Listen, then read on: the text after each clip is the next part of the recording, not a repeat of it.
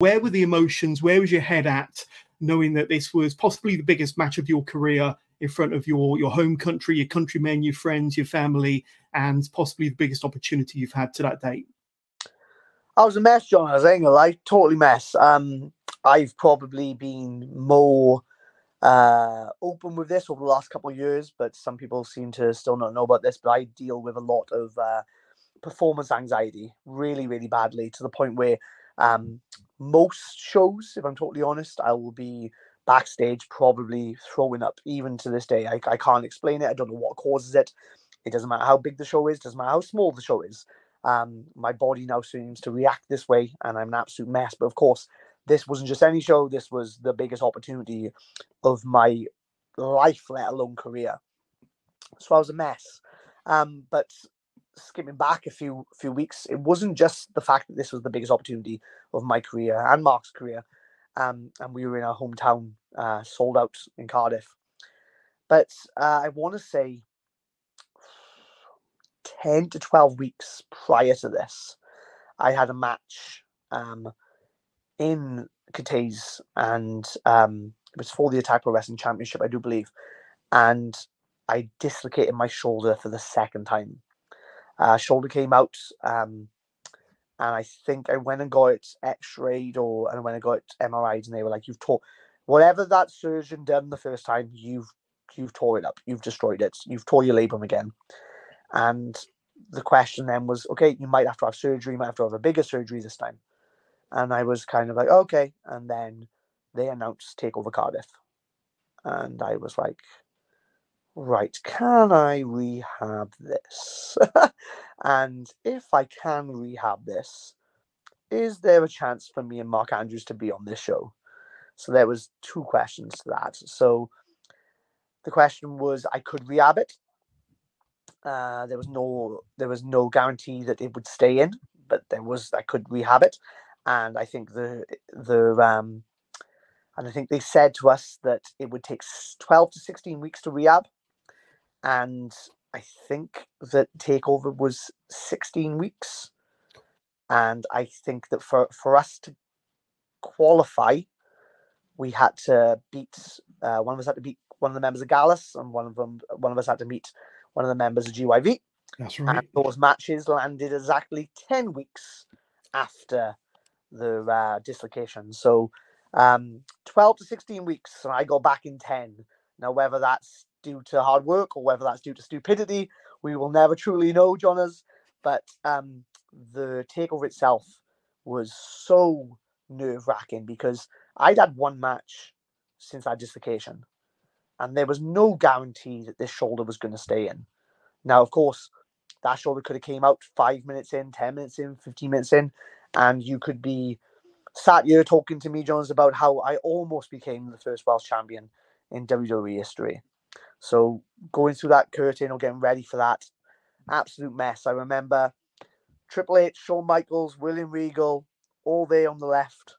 Music starts to play. I'm being sick into a bin or they look at me going, "What the hell is going on?"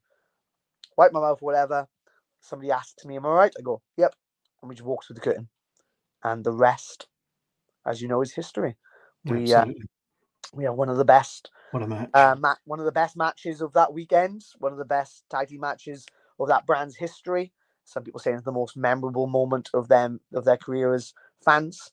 Definitely one of the most memorable uh, moments of, of myself as a wrestler and it's just it's just one of those full circle apps there's so many things from that from that event john is that we became the first welsh champions in wwe history i did it with a man that i met on my first day at training so again did that i did that with my best friends eddie dennis wild boar mike hitchman backstage watching we also did it in front of our hometown our home countrymen in front of Mark's family, in front of my family and my future wife.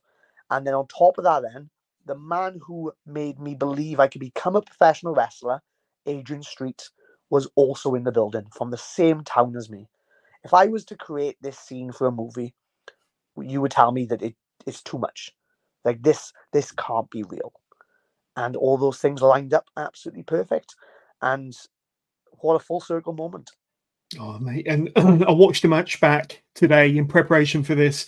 It lives up every single second of it. Um, the, the match, the offense, the action. Obviously, the nerves went as soon as you got into the ring because it definitely didn't show, my friends. But uh, I mean, thinking back to the match, I don't think it could have gone any better. It was super smooth. The sequences, the offense, uh, like I say, the, the, the action involving yourself and Mark and, and that finishing sequence was just it was it was dreamlike. It was dreamlike. You couldn't have planned it any better.